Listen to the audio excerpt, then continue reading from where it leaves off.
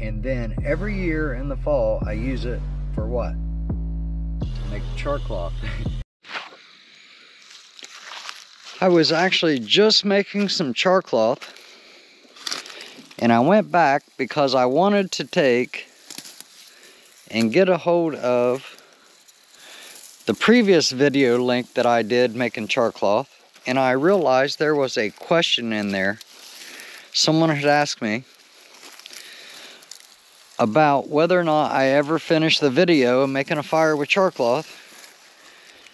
And I'm sure I probably have a video somewhere on my YouTube channel. There's like 600 videos. But I honestly don't remember one specifically that I used to make fire with char cloth.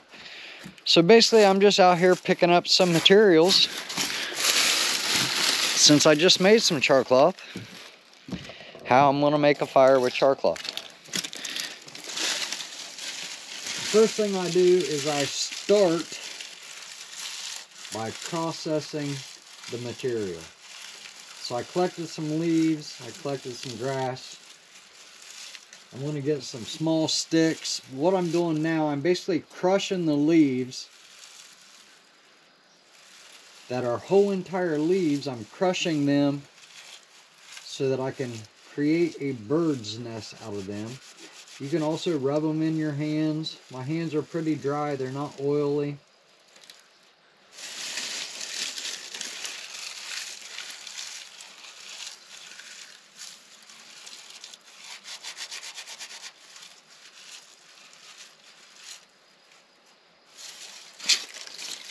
That is probably enough for that. I'm going to do the same thing with this dry grass after I get rid of some of those some of that had uh, dirt on it. So what I'm doing by doing this you're breaking the fibers down in this material so that it ignites easier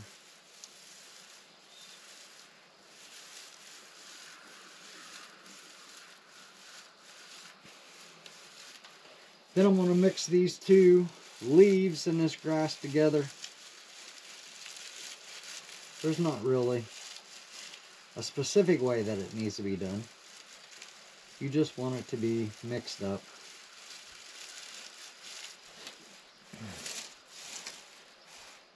Alright, so this is going to be what I'm going to call my bird's nest, right? Then in my pocket, I have this is the char cloth that I just made today to replenish. Pipsqueak, you're going to have to go. This is the char cloth. Is that even in frame? This is the char cloth that I just made today on the BioLite stove, the same way I've made it in the other BioLite video. And then this is my normal kit that has my flint and steel in it. This is an ESEE Fire Steel. I highly recommend this one. This flint I got off of, uh, I don't even honestly remember where I got it from. There's some jute twine in there. There's also a couple of pieces of char cloth in there. So what happens is in the fall, every year I go through my kits and I replace anything that's missing. Of course, I had I was getting low on char cloth, so I made more. And what I want to show you is I want to take some of this out because there's a couple different ways you can do this. And the way that you do it is basically however you're most comfortable. But a lot of people will take char cloth and they'll take a piece of it and they will stick it on the actual flint like this between excuse me they'll stick it on the flint like this between their finger and the flint and then they'll strike it like this. Now, there's a lot of debate whether or not having the char cloth I don't know why I'm coughing so much. There's a lot of debate on whether having the char cloth on top of the rock or the bottom of the rock, on top of the flint or the bottom of the flint, is better. And I'm going to be honest with you, I don't really think that it matters, which is why I'm not particular. I can get it to go both ways, usually.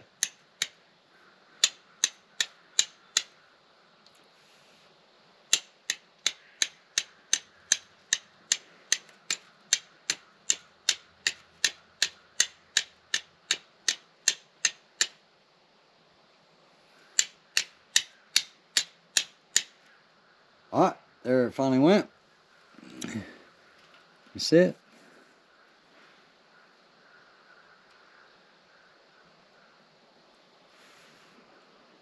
See it burning there? So then you add this to your bird's nest and you blow it into a flame. But I don't want to do that just yet. I want to pinch this out. So I showed you this way where you've got the char cloth on the rock, on your flint. Try it this way on top, and if that don't work, move it to the bottom and try it. But basically what you're doing, you're just hitting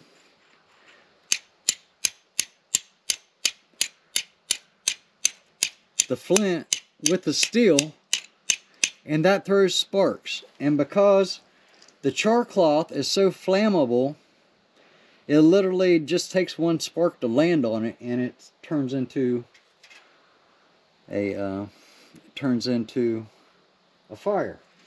Now, another way that people do this is this over where you can see it. So I put the container here and I still have the char cloth in the container. And what a lot of people like to do is they will stand and strike this so that the embers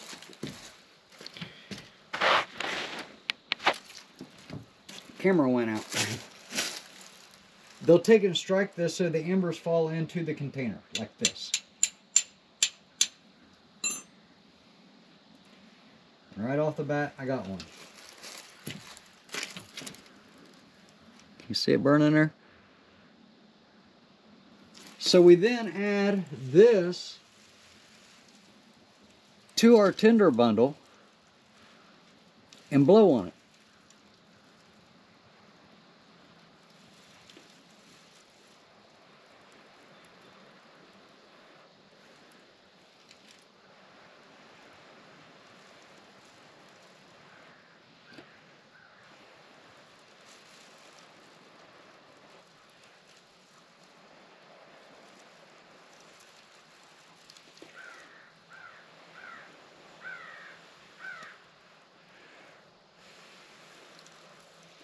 I actually think I went all the way through. Take two. Let me try it again. I didn't actually get that centered in there good enough, so I basically blew. It wasn't in contact enough with the bird's nest, so I actually blew it out.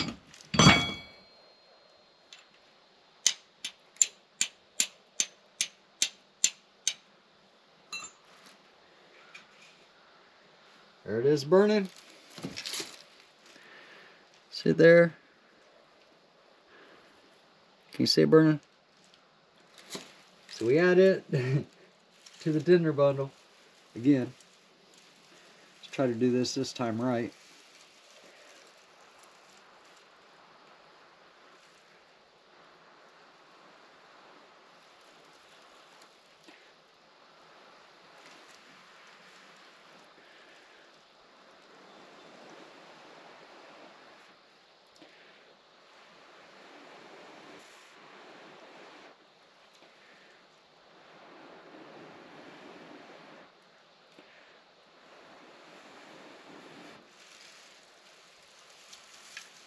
And there we go. I hope and pray that was all in frame. Because I really don't know if it was or wasn't. So, Amy McFarland, sorry it took me so long to get back to you. This is how you make a fire with char cloth. Now we definitely have it for YouTube, right? Anyways, thanks for watching. As always, God bless you, God bless your families, God bless your homesteads.